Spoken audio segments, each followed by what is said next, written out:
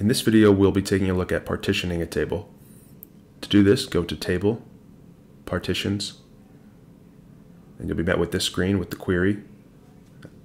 But first, what I want to show you is how currently there are also in our deployed version no other partitions. We just have the one all-inclusive one. But what we want to do is is allow for segmenting this data into different partitions, specifically by date.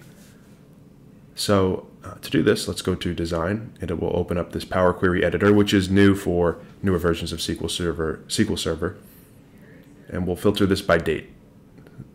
So just like an Excel sheet, let's click this drop down and add a filter.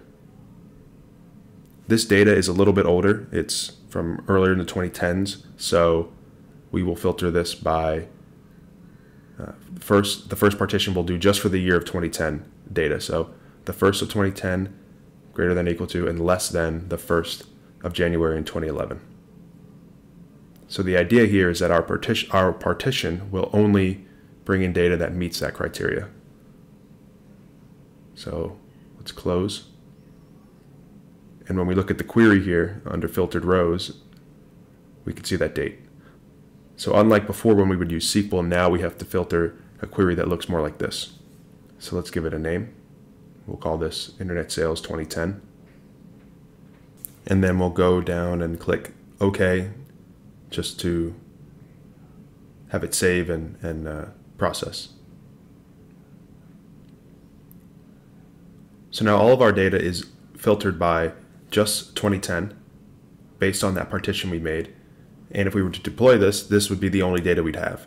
But the idea here is we want to create multiple partitions to allow us to process it in different phases, in different chunks. So let's create a few more. We'll create one for 2011. And now since this query is already here, we can just adjust the dates, create a new one. It'll copy the logic again, rename the partition, and we'll call this uh, after 2011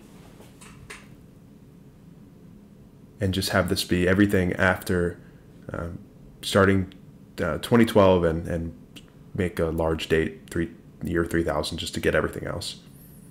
So again the idea here is that once we deploy this and we want to process this process it in a job we can select a specific partition. In this case maybe we only want to partition things from this year or this year forward. That's what allows us to do it. And if we look at the tables, we see the three that we made here 2010, 2011, after 2011. And we can, again, show here that we can process them individually. Let's do all of them just for the, for the sake of example. But in a real environment, you could select just one, let's say. All right, so now let's save and deploy this out to see what it looks like.